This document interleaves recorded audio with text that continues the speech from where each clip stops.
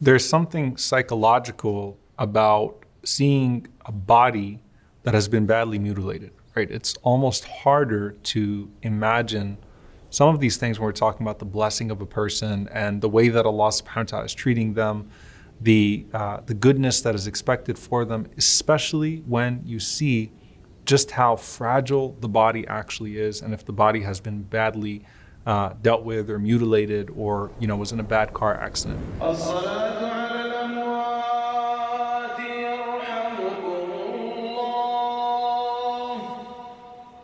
Imagine the Muslims after Uhud, right? And Uhud was a very unique experience for the Muslims. There was nothing like Uhud prior to or after uh, for the Prophet ﷺ and for the companions of the Prophet ﷺ.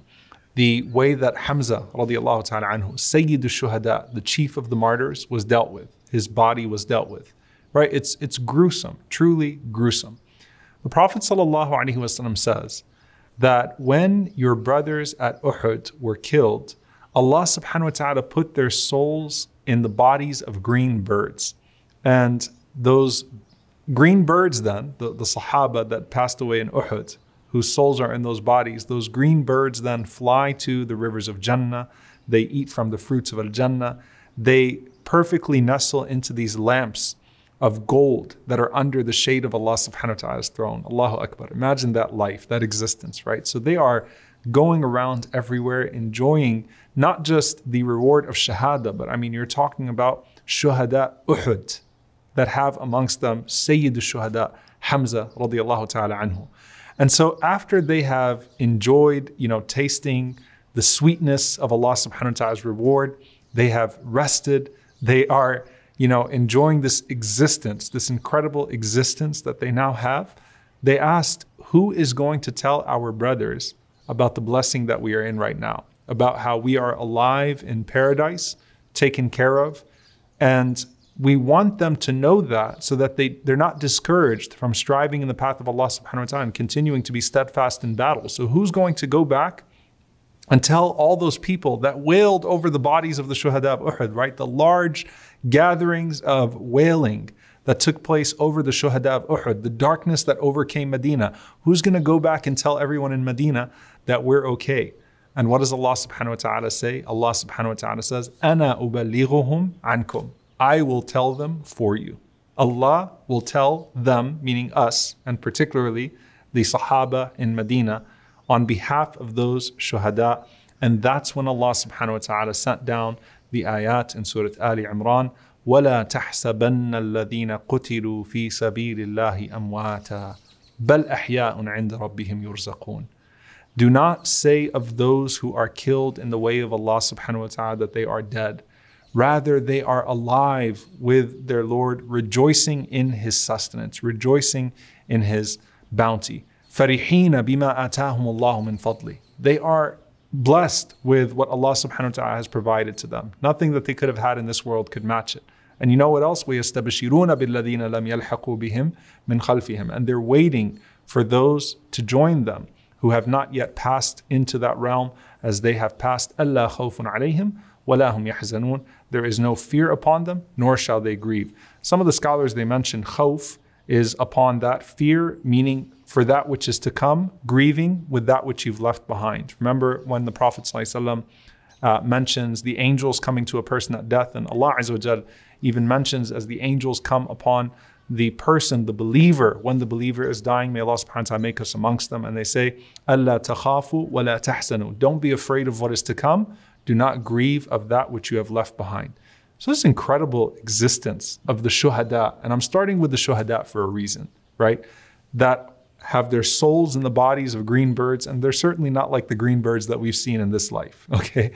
That are going around flying and experiencing some form of Jannah, not its full form, some form of Jannah in their existence, that are nestled under the throne of Allah subhanahu wa ta'ala in these gold lamps. What an incredible existence.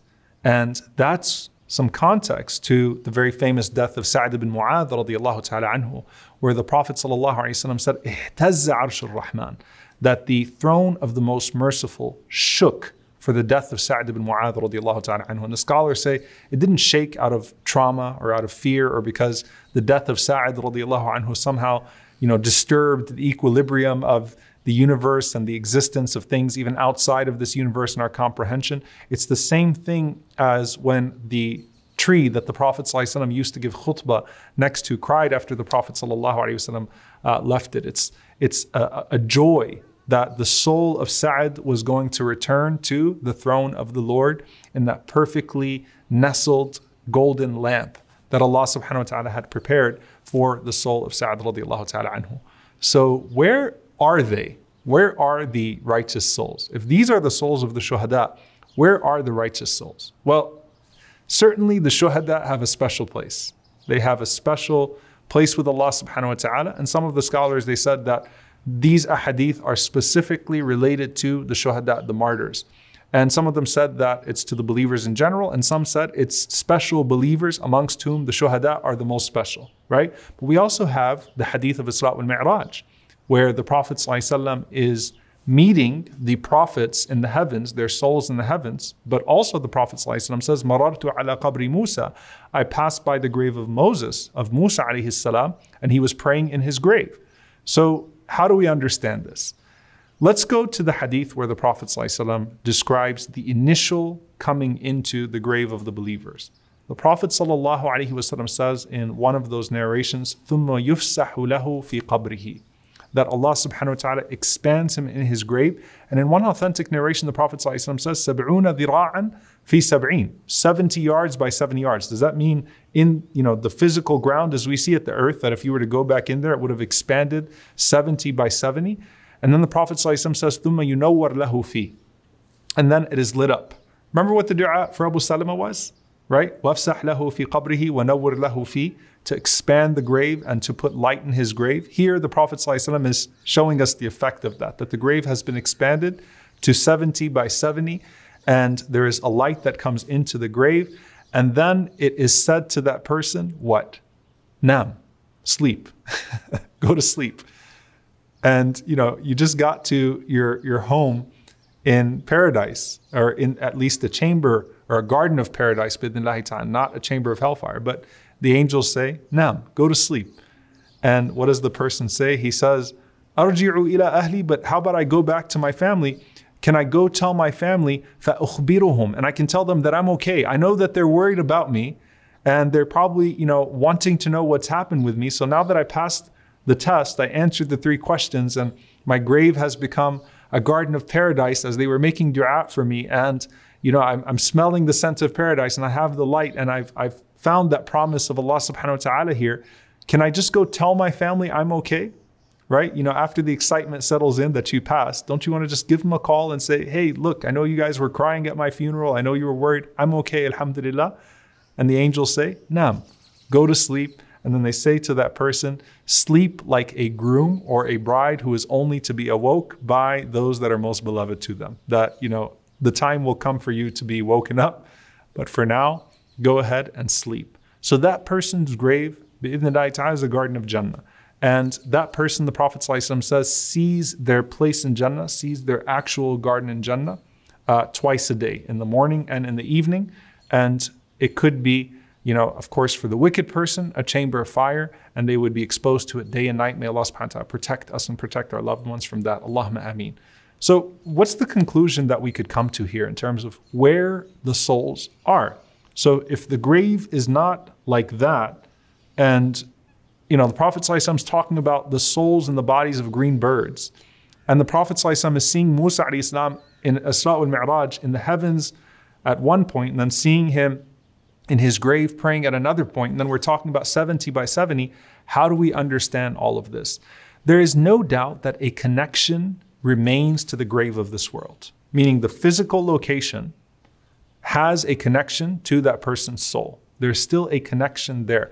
However, that person is not limited by its dimensions. That grave is not limited by the worldly dimensions anymore, the same way that the soul is no longer limited by the dimensions of the body. Okay? So there's still a connection between the soul and the location of the grave, but the grave is not limited the way that we would see it limited, and the soul is no longer limited by the body. And we pray that Allah subhanahu wa ta'ala allow us to be like those whose souls are placed in the bodies of green birds, nestled in gold lamps under the throne of Allah subhanahu wa ta'ala, roaming the rivers of Al Jannah and eating from its fruits.